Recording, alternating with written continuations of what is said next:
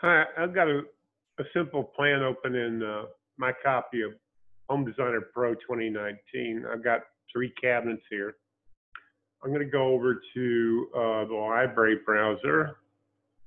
We'll get that sink you're trying to use, fixtures, sinks, bathroom sinks, uh, vanity. There it is, oval undermount. Now, well, my computer's a little slow. If I try to put it in this cabinet that's too skinny, oh, it worked. I was expecting to get an error message. so I don't know what's wrong with your with what you're trying to do, but I'm going to click uh, on this uh, cabinet and then hit a tab key. Now I've got the uh, sink, which I can put pretty much where wherever I want. Now that it's placed, I can put it in this cabinet or that cabinet. I'm going to center that up on that cabinet and move it back a little bit. Whoops. Okay, let's take a look at that. That's working okay. so I don't know exactly what you're doing wrong, but it probably has something to do with the cabinets. I'm going to click and then hit the tab key. It's not working now. Oh, I better click over here where I originally placed it. Yeah, okay, see that? I clicked on this cabinet, hit the tab key, and then the sink uh, selects. So you can perhaps sometimes get some odd behavior if you do it the way I originally did it.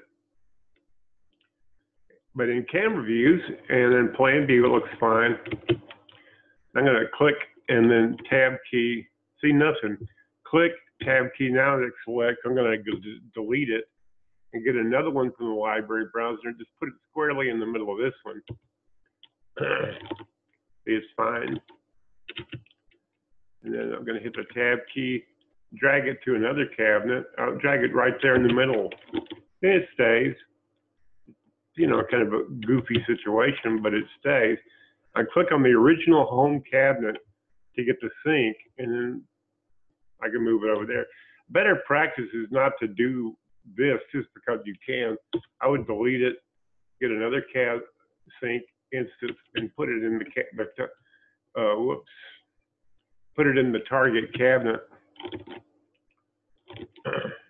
rather than put it in one cabinet and then drag it elsewhere just because you can.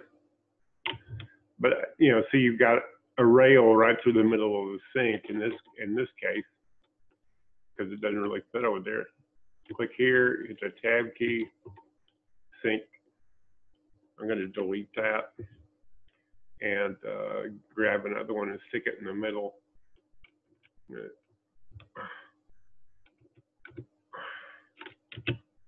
click on that, hit the tab key, move it back a little bit. Because these cap bathroom cabinets are commonly 21 inches deep, not 24 like kitchen cabinets.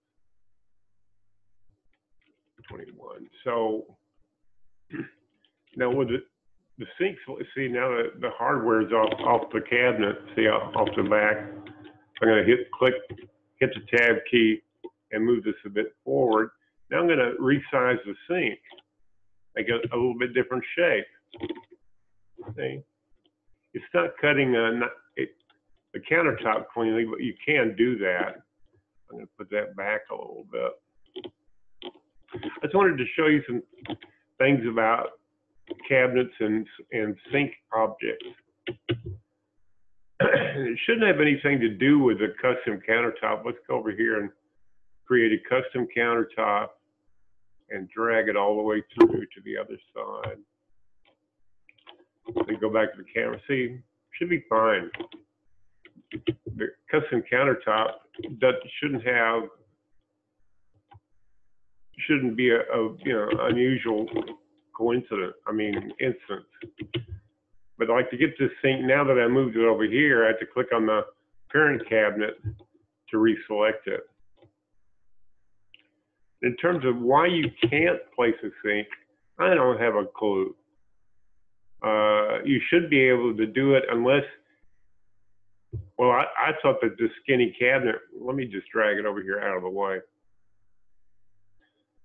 I didn't expect the sink to go in there at all because it's not, it's too skinny for the, yeah, that's, that's a- the error message I was look, looking for is not large enough to hold a fixture appliance. That's what I was expecting. I suppose it went ahead and worked because it was next to a cabinet that was large enough. Maybe that's so.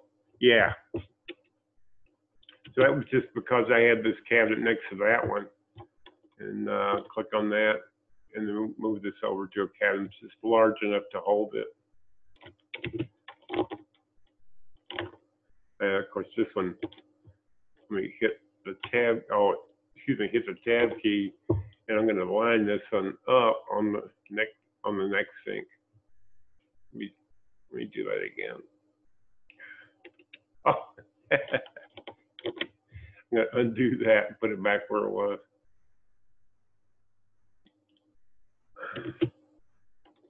Tab key, there we go. Come on, there we go. Now they're lined up. Okay, that's about all I can tell you. Uh, I'd have to have a copy of your plan to figure out exactly why you can't place a sink where you want to. But you see me demonstrate what's the usual behavior. And if, if you want a better answer than that, post a copy of your plan.